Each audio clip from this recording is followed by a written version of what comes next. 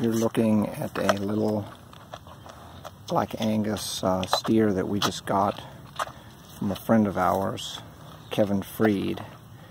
And um, we just put him on a bottle. It's a bottle baby. We sucked this a little bit and we coaxed him over here. And he's over here on this dairy cow, this Jersey, and uh, he is suckling.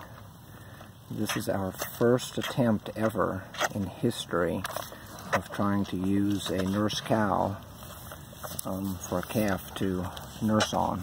And um, there he is. I've got her tied up, so um, she's not able to run away, but uh, he's got a taste of uh, this mama's milk. And um, hopefully this is going to be uh, a sign of good things to come.